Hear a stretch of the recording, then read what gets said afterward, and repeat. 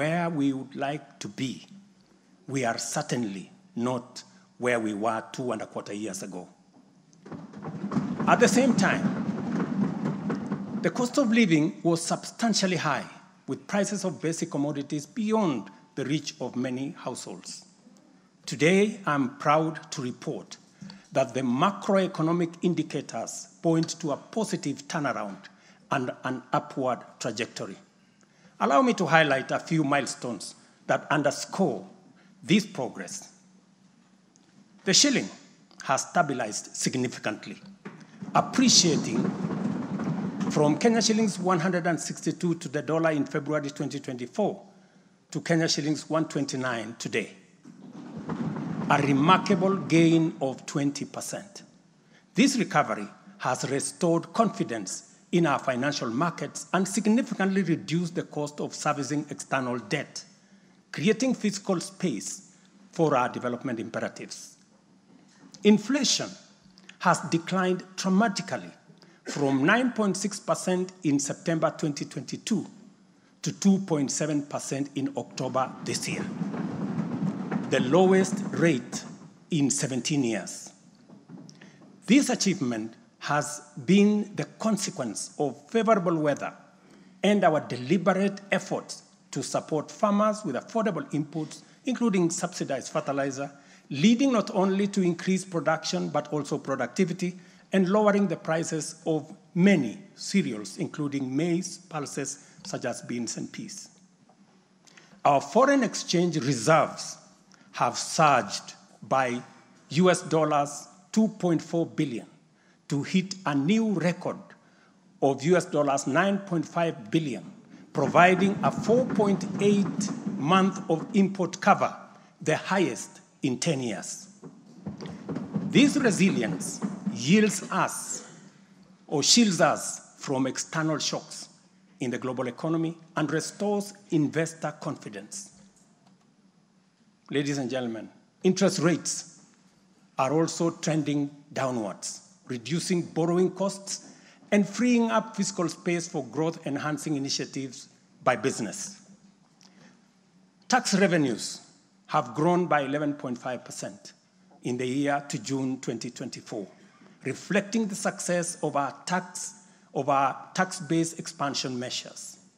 The economy continues to grow steadily, recording a 5.6% growth rate in 2023, among the highest globally.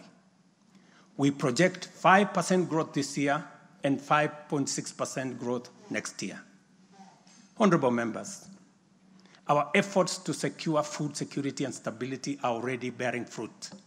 Since February, we have distributed subsidized fertilizer to 6.45 million registered farmers in 45 counties, enabling them to increase their yields. And this year, we have procured and through e-vouchers distributed 7 million bags of both planting and top dressing fertilizer to boost food production across the country. This intervention will see a projected increase in maize uh, production, for example, to a record 74 million 90 kilogram bags. We have also concluded long-term agreements with 11 suppliers of assorted fertilizers so as to make this commodity available all year round. Fertilizer for the long rains season will be stocked in outlets nationwide, ensuring our farmers are ready to plant grow, and produce. This forward momentum will not only increase our agricultural output, but also reduce our reliance on costly food imports, securing a more self-reliant and a more prosperous Kenya. This approach, rooted in my administration's policy to support production rather than subsidize consumption, has already made food more accessible more affordable to many households. Today, Kenya boasts substantial national stocks. 47 million bags of 90 kilogram bags of maize are in our stores, 8.8 million bags of beans, 10.4 million bags of wheat, and 2.1 million bags of rice. slowly but surely, we are building a food secure Kenya where families need not to worry or worry less about their next meal. In the sugar sector, we have achieved a historic milestone. All 17 sugar factories across Kenya are now operational, producing at impressive levels, while four new sugar factories are under construction. In July alone, domestic sugar production reached 84,000 metric tons, surpassing the national monthly consumption average of 40,000 metric tons. For the first time in recent history, Kenya is producing enough sugar to meet our local demand. This success is attributed to many factors subsidized fertilizer for sugarcane farmers, an additional 500,000 acres that has been brought under production, and improved management of the sugar sector, while, which have revitalized production and brought the industry back to life.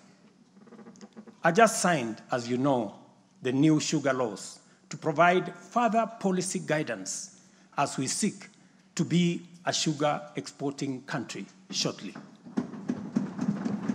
In the coffee sector, we are on track to increase exports from 51,000 metric tons this year to 150,000 metric tons by 2027. The government has also raised disbursements from the Cherry uh, Advance Fund from 2.7 billion to 6 billion Kenya shillings, complemented by an additional disbursement of 1.5 billion by the Commodities Fund. Average prices of, at the Nairobi Coffee Exchange have risen by 25%. And in the last financial year, the country produced and exported 48,000 metric tons, earning farmers Kenya shillings 25 billion.